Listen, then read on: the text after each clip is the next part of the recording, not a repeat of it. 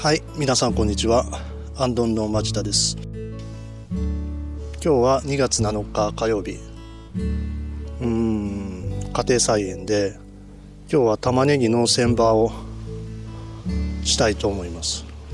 千葉っていうのは、えー今新芽が小さいやつが1つ2番目3番目4番目。でこれ5番目。こ5切るってこと？ういや45まであるのはあんま珍しいんやけど大抵4本。でまあ大きくなったやつは5本まであるねやっぱここら辺は。で僕は常に3本の状態でこの玄関期は過ごしさせたいと思ってる。それはもちろんこの光合成でえあの今休眠状態だけど少しずつ大きくなってって光合成をちょっと遮るという感じでも光合成を遮るってことは成長を遅らせるってこと？う遅らせる。うん。うんその作業を500本。うわすごいね。やるのはうん僕一人じゃあれやで。よく聞いとって。うん。ちょっともみ殻を押さえてあ押さえてじゃなくてあの広げちゃって。うん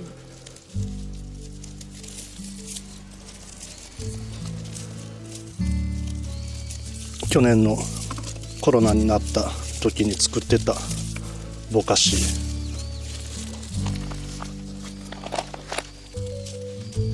を穴の中に入れちゃう、まあ量としてはこれぐらい。本当僕玉ねぎなんてえー最初元日は元日以前の話やけどここはナスが2畝あ。やってたので元日はまあまああるものとして鶏粉を少し追加で元日として入れて耕したもので追肥はその後の追肥というものは一肥を12月初めぐらいまで1週間に1回程度与えてました。それから12月初めからずっと追肥はなし。肥料はなし。で小さく小さく抑える。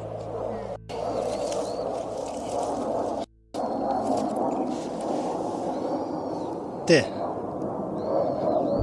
久しぶりの追肥をえー、ともみ殻をちょっとどかしどけてぼかしを入れて土最後に土をかぶせちゃうと。こんな感じ。これを今から作業する。ということです。玉ねぎは順調で結株は今のところゼロ。500分のゼロ。えそれってすごくでちょっと怪しいのが1本だけある、あやっぱそうだよね。うん。向こうのここちょうどあこれに当たるんやけどなんか弱々しい苗1本のああと結株なし。すごいね500分の。はい。でね余談ですがスナップエンド。ウまあ水もやってなかったのでうん。無残な姿に。枯れちゃったってこと？枯れた、もう復活は無理？ま、無理無理。ああそうなんや。かわいそうに。暖かいところにうん置いてたんだけど全く復活の予兆がなくうんもうどんどん枯れていきました。うん理由はわからない今の今だにちょっと。やっぱあのぼかしと一緒に温室に入れとったで湿気があかんかったんかね。湿気と高温と低温のその発酵熱がある時は高温だけど、引いたら低温になる。その寒暖差とうんと基本的に寒さには弱いのでうん弱いとこにうんということやね。そうだねそれが一番良くないわね。あ人間だって風邪ひくもんねそんな簡単さありゃ人間だってうん。寒かったら寒いでいいんやって。ただあったかい寒いが思わぬ環境で目の当たりにするとそらおかしくなる。うんそれと一緒やと思う。ということで作業します。はい。はい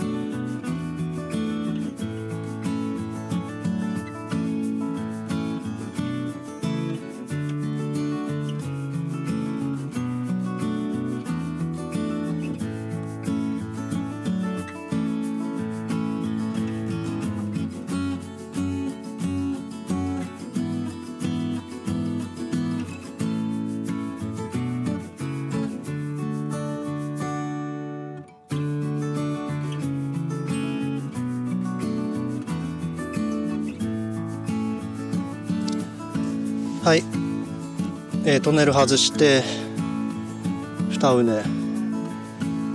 まだちょっとこのこの作業ができてないんですけど1212345これも。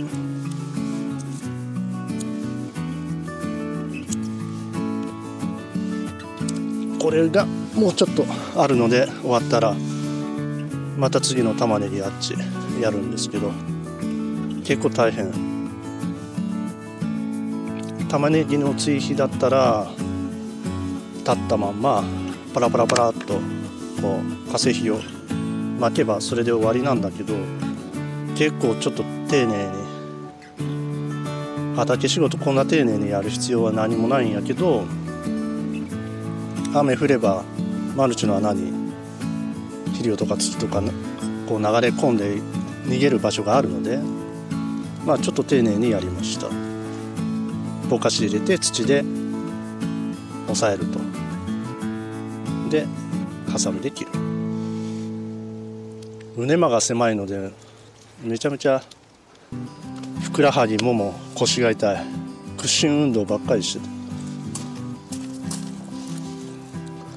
たであとは玉がちょっと肥大しかけてくる3月4月頃にカキ殻石灰を結構入れます。あのパラパラっとばらまく。今のところ順調で今見た限りでも結果ぶなしでなんか落ちすぎるんじゃないかっていうぐらいなんだけど。まあこうやって成長調整してやればとう立ちするとかそういうこともないかなとは思います。昨年の玉ねぎ、えーソニックもネオアースもすごい大きいのがいいのができたのでまあ今年も同じようなやり方でやるんですけど良さそうかなと思います。でトンネルはどうしようかと思ったけどやっぱり虫除けネットを寒さ対策雪対策で念のためやろうかなと思います。はい。あということないかな。あこれはそのまんまだけどああそうやね。猫が糞するのであちょっとこのまんまああごめということです。え？今映したら監督を映してもらった。何を？すいません。はい。いいですか？はい、はいじゃあ。はい。ありがとうございました。はいご視聴いただきありがとうございました。チャンネル登録お願いします。ありがとうございました。